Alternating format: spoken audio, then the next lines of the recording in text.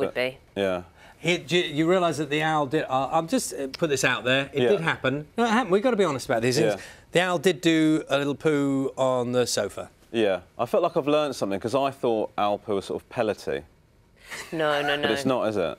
It's like proper. People are eating their No, it's not. In fact, I'll People just are eating their breakfast. I'm So just Okay, cover it up sorry. a little bit there. Yeah. There we go. But it's good to. I feel like I've sort of educated myself. I haven't educated myself. I didn't. I didn't make the owl do that, but it's good to learn. Well, did- it's, it it's did odd that it happen, did do it actually, just when as you you were were walking yeah, in, it did. Yeah. as Well, happens. everybody gets nervous around celebrities. Do you know what I mean? So it happens to But on happens to the best of us. You see, I'm, I'm, I'm segueing nicely. You see, you talk about educating there because a lot of people may not know Yeah. that you were a teacher. I was. That yeah. was your career. I say you were a teacher like it happened sort of one day, but that was your career. You, were- you. I was a maths teacher, yeah, I had a sixth form. Yeah, I did it for like eight years, or something like that. And then, uh, so I was teaching for a while, and then I just thought I don't want my career to be about helping people anymore. So I just decided to do something which I feel is more rewarding, which is putting myself at centre stage. You know what I mean? Can I just ask before we go into the, the, all the other stuff in the book? You as a teacher, I mean, Yeah. your, your your kind of way is you're uh, you're quite sort of quite deadpan. This is the comedy, I understand. It's not necessarily your your personality. I but- know it's all me. Um, as a teacher, were you were you like that as a teacher? Was it a bit, you know, yeah. were you a bit withering with your with the kids and stuff? Uh, I, well, I never, I don't, rec- I sort of don't recall raising my voice much as a teacher. I was pretty chilled out, but I, I actually think it works better. Like I would, I'd get quieter if uh, children are upsetting me. You know, just sort of say, "What you're doing now is causing me a problem in the lesson," and it would be sort of almost borderline sinister. It- Yeah, it's- it's no, it sort of works, is I get it. went for. Yeah, also in the book, you refer to a point where you just threatened to g- kick one kid out of the classroom and just said, well, I don't want to be here anyway. So Yeah, that well, didn't that- quite work. No, well, that's the problem is that actually teachers' authority, I mean, I don't want to sort of ruin it for teachers out there, but it's fake, isn't it? It all depends on the children wanting to be in the classroom and being at school. So if you threaten to exclude a kid that doesn't want to be there, essentially you're giving them a prize. Mm. Um, it's, it's a performance of sorts, is all I was going to say. Is Yeah. teaching you're in front of a, you know, it is a kind of stand-up, isn't it? Because you've got to do a routine, get their attention. Yeah, Yeah, to make it work. Yeah, and it's more difficult than stand up because with stand up you can talk about whatever you want. Where with teaching, you have to occupy the children for an hour, and you're talking about fractions. You're sort of limited in your subject matter. Do you know what I mean? So it is tough. Can we talk about your mum, please?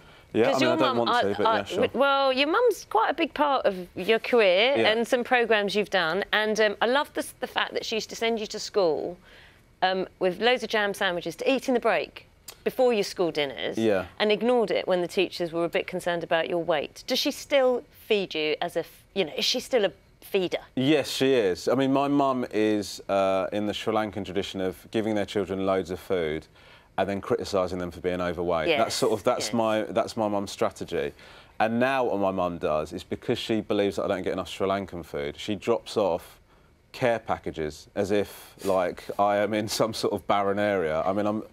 I, I can make food for myself, but every now and again, normally when my wife's just finishing dinner, there'll be a knock on the door, and then my mum will go, "Darling, I don't know if you've got food here, so I've got enough for the next two weeks." And then like our freezer's full of full of curry, basically. It's good. I mean, I'm not complaining. I don't want mum to stop doing it. No, and no, no, it's great. And she's been part of the programmes you've made Yes. as well, and um, kind of gone off on tangents and be, is a star in her own right. Yeah, it's an unfortunate byproduct of having her on the show uh, is that she has become. success? Yeah, I mean, uh, listen, what I was sort of hoping for.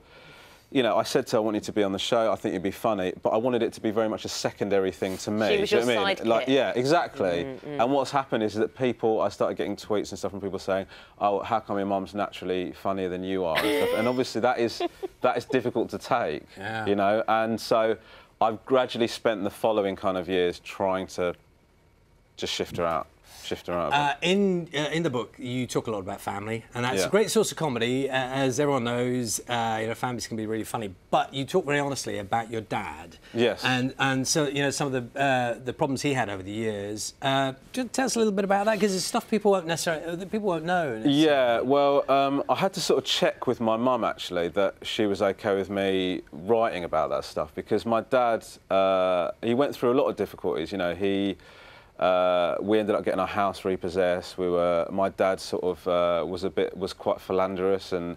Uh, he ended up going to, to prison for a short time, and so and all of that. We went from being very comfortable, and then everything got turned upside down, and then we were sort of cut to us like being in like this sort of council bed and breakfast, trying to uh, trying to get back to where we were before, if you like. And it was a really traumatic time. And one of those things that happens that sort of defines you for a while. You know, it really did change the path of all of our lives. And um, and it was something that um, I hadn't, I just hadn't talked about because for whatever reason you don't bring it up in sort of conversation. And, and I'm not saying it's the worst thing that's ever happened to anyone. People go through horrible things, but certainly for us, it was a real sort of life-changing kind of couple, few years. And so when it came back to writing about it, to be honest with you, I suddenly went through that whole that whole period again, and it sort of brought back all of those those memories. It was a really challenging time for us. It's conflicting emotions though that can be felt because you don't want people to dislike your dad.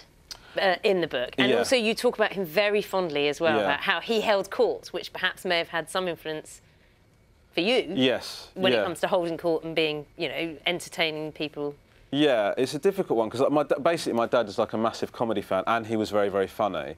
And like when I, when I, he used to run a pub, and when I started doing stand-up, I was trying to get more stage time, and he said, "Why don't you do a gig at the pub?" So I started running this gig from Dad's pub, and then he got on stage like on the first night. We couldn't get him off, and he told some of the most disgusting jokes I've ever heard.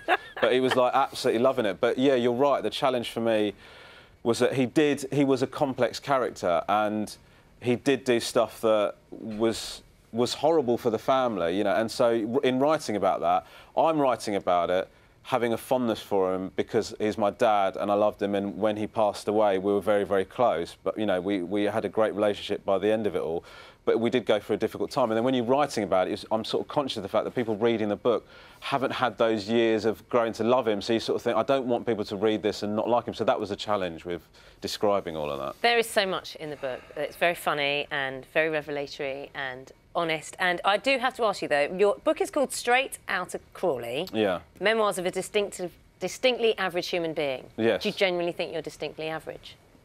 Yeah, uh, uh, yeah, yeah, yeah, uh, yeah. It's just sort of, uh, uh, I don't know. Everybody has imposter syndrome, don't they? I think you know. Although you're going to be found out at some yeah, I sort of I spend most days thinking that somebody's going to tap me on the shoulder and go, "Look, Romesh, I hate to tell you this, but we know." so, so we, we like you've been getting away with it for a while. You've had a good run. We've all agreed that if you pack your stuff up and just disappear, we won't say any more about it. You know, so that's. I do, I do genuinely have that sort of. It feels like things are happening to you. I, I still don't feel like a comedian. You know, I, I don't feel like. I don't feel like I'm a proper comedian. I feel like somebody's having a go at doing it and getting away with it, essentially. And probably people will tweet me saying you are getting away with it. But, but you know, that's how. Well, you are getting away with it. Yeah, You've I'm made getting us away with laugh, it. yeah. so well done. Romesh, it's been lovely having you on the oh, sofa. Oh, thank you very thank much you so me. much. Cheers. Uh, five minutes past nine is the time.